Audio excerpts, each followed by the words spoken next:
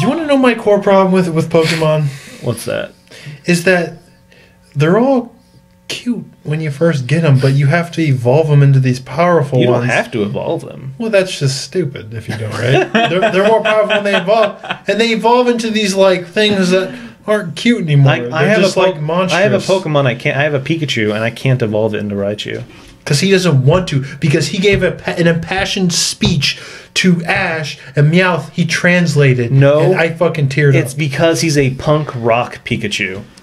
He's wearing a vest with like a, a fur trim lining, and he has All right. these red You and just- black fucking spikes. You just convinced me. How come to- you haven't been watching the footage? He's Oh, in the fuck, I footage. didn't realize. I've been. Pl- uh, I, I I gave. I mean, Chris Oh, yeah, Davis. I we gave couldn't him. find- Sure enough, I gave there's him Pokemon footage, I will and say I- this: you just convinced me to not play Pokemon. so the thing is, it was weird because it, that does look good, though. No, it does. Listen, hold on, hold the fuck on. Remember in Final Fantasy, you played Final Fantasy One. It was two boxes, and this one would like vibrate a little bit, and that was like him attacking. Yeah. But by the time you got to like Final Fantasy Six, they actually started running across the field and actually slashing at the dude because you know what? Technology evolved, and all of a sudden you could have animations. And Final Fantasy Seven came along, and Cloud was actually running over there and swiping his sword at the dude, and like it evolved it evolved and they weren't just standing on opposite ends of the field moving a little bit.